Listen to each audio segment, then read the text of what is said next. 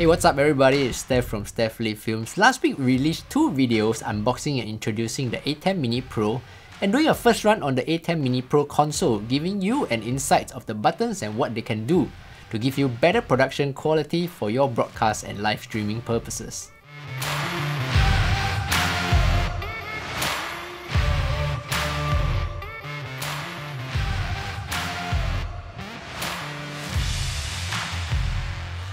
Before I continue, I would like to give a shout out to subscribers who have commented and given me their feedback on their thoughts on the ATEM Mini Pro, as well as asking questions regarding certain functionalities and usage. I've tried to reply to your questions as soon as I could, so I hope my answers are useful and timely. Have you ever seen newscasters, football pundits, or weather report girls standing in front of a huge green screen and they seem to be overlaid onto some computer graphics to show what they are presenting? One big function that I have not covered in the last two videos is the key or keyer function on the ATEM Mini Pro. So today I'll give you a complete tour of what this amazing function can do. So without further ado, let's dive right in. Because today we are going to focus on what the key function can do, I have a very minimal setup. Just two cameras connected to port 1 and 2. Port 4 is connected to my laptop's HDMI and the Ethernet port is connected to my laptop via a USB Ethernet adapter so I can have access to the ATEM software control as you can see from my screen here.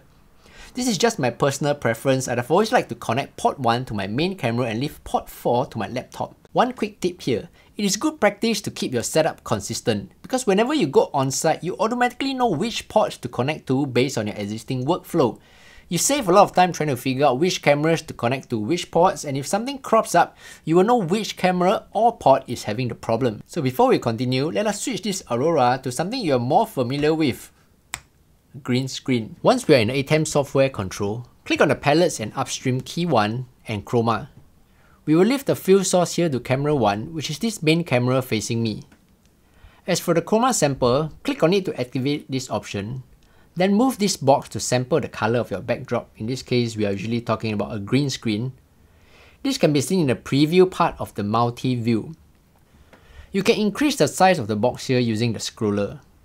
I have done a makeshift green screen behind me. As you can see, it is not the most perfect green screen as there are shadows on the folds here. But this flaw is actually intended, so I can show you later what the amazing ATEM Mini Pro can do to digitally clean up these flaws. Okay, very simple explanation for the field source and the chroma sample is, just imagine you have printed something out and you have cut out the outline with a pair of scissors. Now that we have these two cut out parts, you will want to keep the picture and discard the unwanted part. So field source is basically what you want to keep and chroma sample is what you want to discard. So now that we've this cutout ready, we switch the view to the display graphic that you want as your background. So now we'll switch the view to port 2, which is just showing the view from camera 2. So what we're going to do now is to paste the cutout from what we just did onto this screen by pressing the key button on your console or the on air button on the software control and I just magically appear right here. Remember what I mentioned earlier that this makeshift green screen is not perfect? So you can see there are actually folds and shadows of my green cloth around me. But now I'm going to teach you how to digitally remove these flaws. Under key adjustments, foreground is set to 0% as default. If you push it to 100%, it basically means erasing your background which is camera 2 and desaturating it, making your foreground which is my cutout here, the only view, like this, which is not what we want. So we're going to reduce back to 0% and play with the background. Now the background option here is what you are looking at. You increase the percentage by dragging the sliders rightwards and you slowly see the flaws disappearing. You can see on this side, can you see that? Yep. Then use the key edge slider to clean out the edges between the key and the background.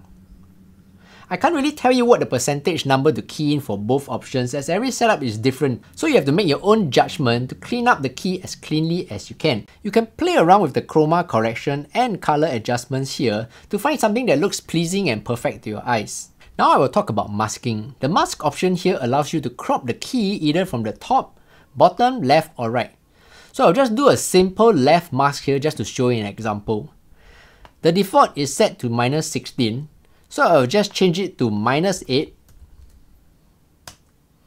And you can see here, you can see here, the mask is being cropped out and the left is being cut off. So we will change this back to minus 16. The flying key is a very interesting and fun option to play with. You can adjust the position and size of the key using the settings here. So let's say you want to move the key to the bottom right. So we change the X position to 10 and Y position to minus 5. Then we change X size to 0.5.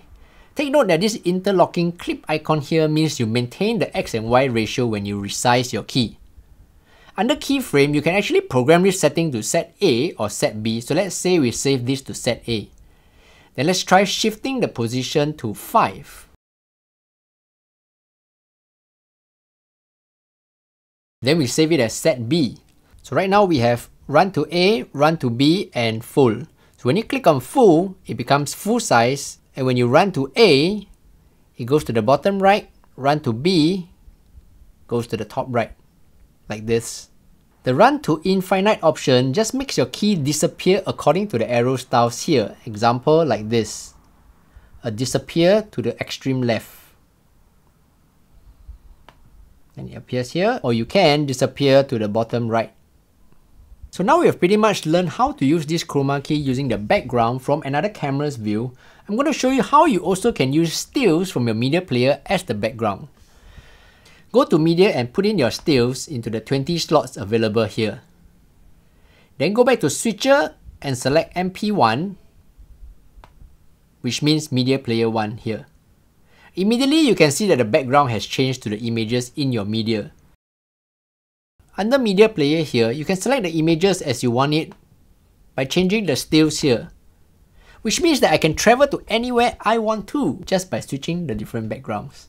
Another option you have is to switch the view to port 4, which is showing the screen from your laptop.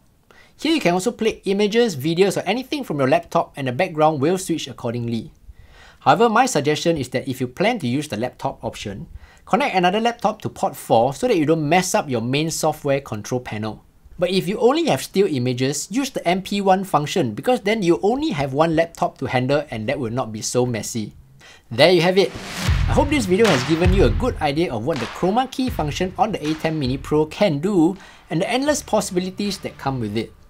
As I've said this before and I will say this again, the ATEM Mini Pro is definitely a piece of equipment that you will want to own if you're planning to get into live streaming or simply if you just want to improve and increase your productivity level and upgrade your existing setup for broadcast. Before I end this video, I'd like to say that it really means a lot to me if you found the information useful and you can give this video a like.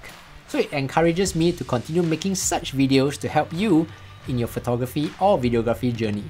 And of course, don't forget to subscribe as well. And as always, if you have any questions, please let me know.